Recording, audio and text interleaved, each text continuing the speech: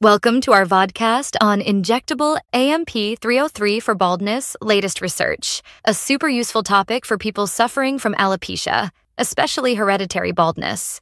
Joining us is Dr. David Timm, an expert dermatologist here to shed light on this latest research on receding hairline and baldness.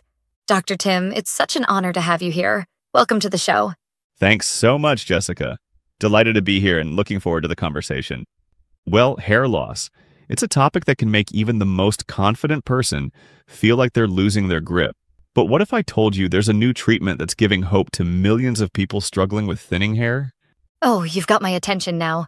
What's this breakthrough you're talking about? It's called AMP 303, and it's shaking up the world of hair loss treatments.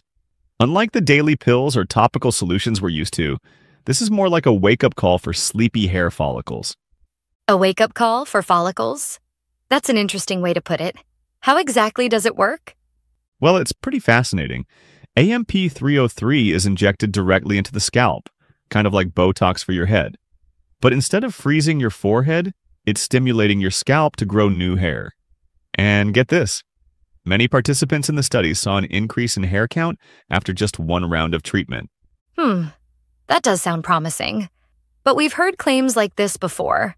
What makes AMP 303 different from all the other miracle hair loss treatments out there? That's a great question. The key difference is in how it works.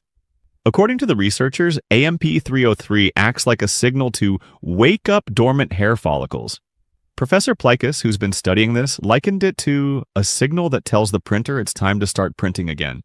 It's like a 3D printer for hair. A 3D printer for hair? Now that's a concept I never thought I'd hear.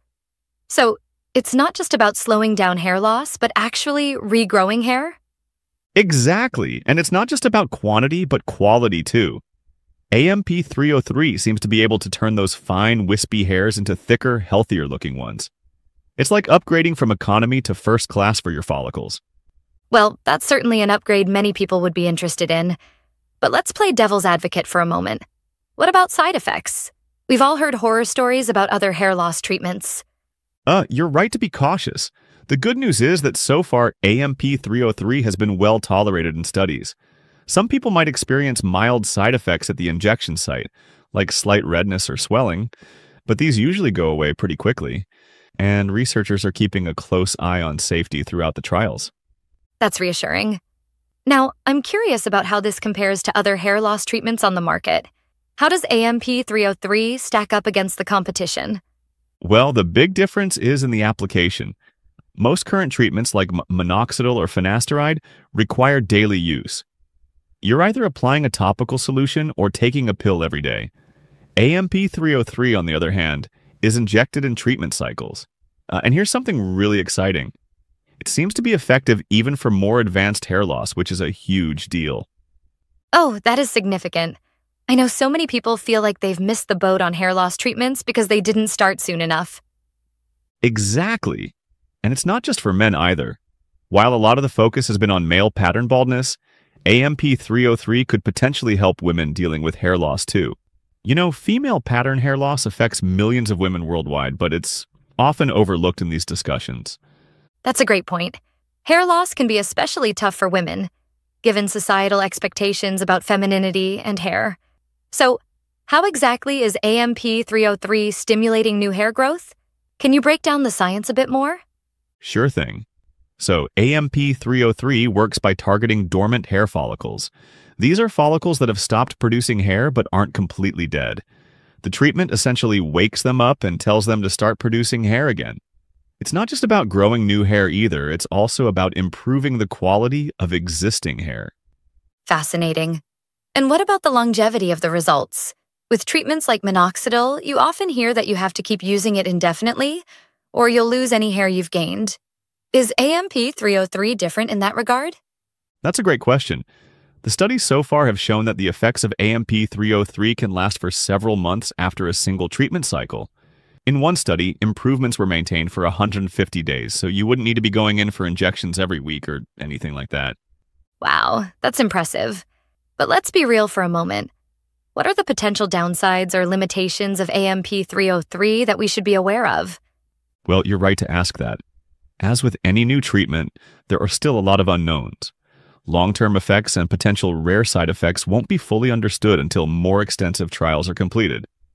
There's also the question of cost. New treatments like this can often be quite expensive, at least initially.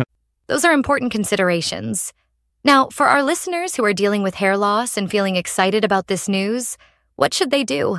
Is there any way to get involved in the trials or at least stay updated on the progress? Great question. While it's not possible for everyone to participate in clinical trials, people who are interested can keep an eye out for announcements from Amplifica Holdings Group, the company behind AMP 303. They might have opportunities for trial participants in the future.